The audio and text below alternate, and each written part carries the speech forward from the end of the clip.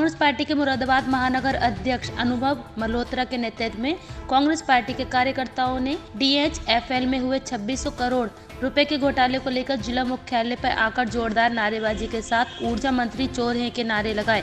साथ ही एक ज्ञापन जिला अधिकारी के माध्यम से उत्तर प्रदेश के राज्यपाल को भेजा। ज्ञापन में कहा गया कि बिजली विभाग के कर्मचारियों की मेहनत का 2600 करोड़ रुपए कब और कैसे डाला गया इसका जवाब मिलना चाहिए।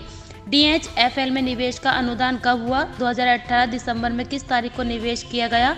आखिर भाजपा को सबसे ज़्यादा व्यक्तिगत चिंता देने वाली निजी कंपनी को ही नियमों को ताक पर रखते हुए कर्मचारियों की पूंजी क्यों सौंपी गई?